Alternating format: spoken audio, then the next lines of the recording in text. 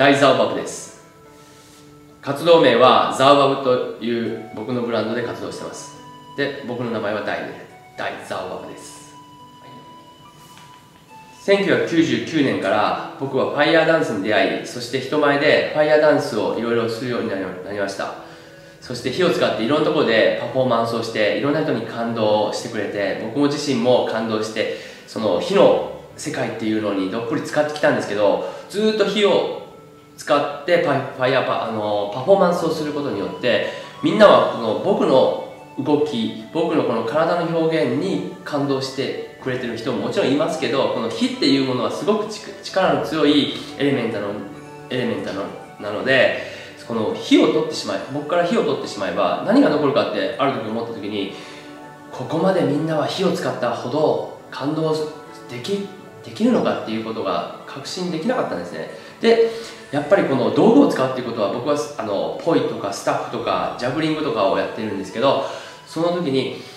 道具を使うっていうことはすごく好きなんです。でいろんな道具は使ったんですけどもっと斬新でビジュアル的に見た目も素晴らしくなんかこう人にワオっていう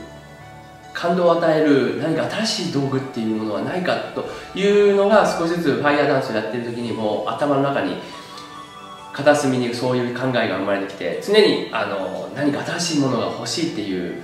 模索する時が出てきたんですね。その中で、えっと、アフリカに行った時にあるビデオを見てそのマイケル・モーションというプロのジャグラーの人がずっと前にもう20年以上前だと思うんですけど筋型の道具を使ったビデオがあったんです。それを2001年に僕はアフリカで見た時にものすごく感動してこれは火も使ってないエレメントがないあるのはその体と道具。だけ。ですごくものすごい幻想的な形を生み出しててそれにすごく感動して僕は本当にこんなのが世の中にあるんだって感動しました。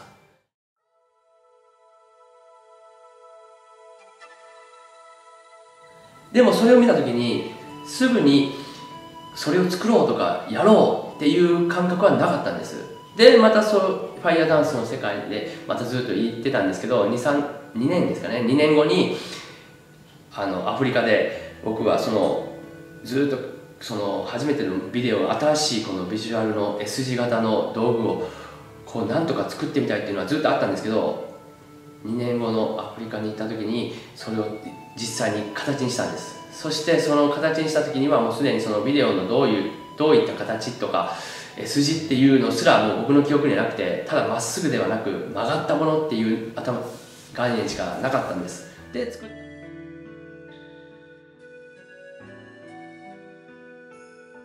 で作ったのが今の武弦のさらに、カーブが2つぐらいカーブが真ん中にあってで大きなカーブがあって基本的にはもう1メートルぐらいを超える2つの大きなスタッフになったんですけどそれを回してたんですね。で回してでもその回したそれを作った時にはもう世の中にはそれがなかったのでもう自分自身感動してもうすごくいろんなところで人に見せて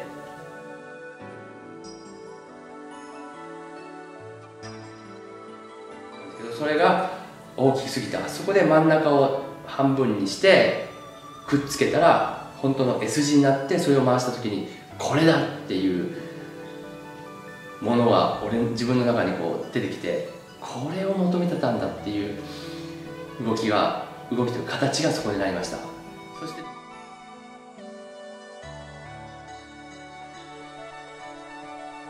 武言というものは、えー、僕が名付けました。で武言武道の武に幻覚の幻と書きます。そして武言です。でこれはどうしてこの名前になったかというと僕はそのアフリカに行ってからずっと太極拳を練習して毎朝の日課にしてずっとやってたんですけどその武道の動き柔らかくこの波のようにこう体が体を動かしてその動きにその武言ってものがすごくフィットしたんですね。で武道の動きに動きとあとはもっと武道武道の動きにこう融合させたかったんです。この S 字型を。でとにかく「武」っていうこの武道の「武」という文字に僕はすごく共通するものがするものを自分の体験と通して感じたのでまずは武道武道の「武」というものを入れたかったんです。もともとその武言っていうものを僕が作った時に名前もなければその形もなかったので初め形を作った時に名前がいるということを僕が自分で感じて名前がないなかったんです。そしてそこで、まあ、武道の武をまず入れてで自分で回してるうちに8の字のような、え